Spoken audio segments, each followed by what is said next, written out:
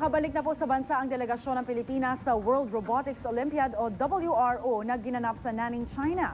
Ang Team Philippines ang hinirang na overall champion sa open category ng WRO. Narito ang exclusive report ni Oscar Oida. Robot na nagtitimpla ng kape, robot na nagigitara, at robot na nagtatapo ng basura. Ilang eksena sa isang robotics display na hinangaan ng gusto at nakakuha ng overall champion award sa katatapos pa lamang ng World Robotics Olympiad na ginanap sa Nanning, China. At sa maniwala kayo sa hindi, mga batang Pinoy ang may likha ng mga ito.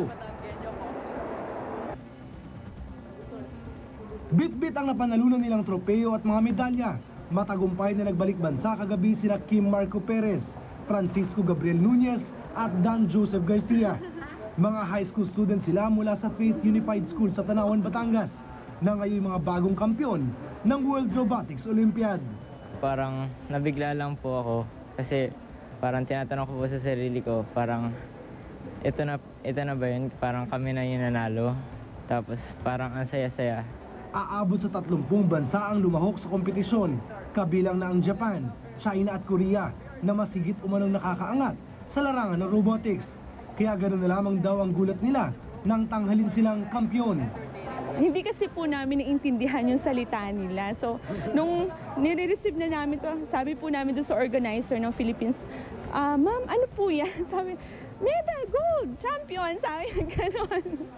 So, doon lang namin nalaman, nag, ano pala kami, panalo pala kami. Ang kanilang secret formula, Filipino hospitality at ang kapeng barako ng Batangas. Gumamit kami ng concept na native design and actually ginamit din namin yung ah, popular nating ah, barakong kafe. talagang originality po kailangan ang pagaganahin natin at uh, creativity. Ngayon lang daw po sila nakakita ng ganito na kasi yung robot po namin, naggagawa po siya ng Barako coffee. Nagmi-mix po, tapos yung isa nagsasalin ng sugar and coffee. Patuloy daw ito na hindi tayo basta-basta mapag-iiwanan basta't di natin makakalimutan ang mga ugali at gawing Pinoy. Hindi porke high-tech tayo, eh, makakalimutan, makakalimutan na natin ang pagiging Pinoy. Para sa unang balita, Oscar Oida reporting.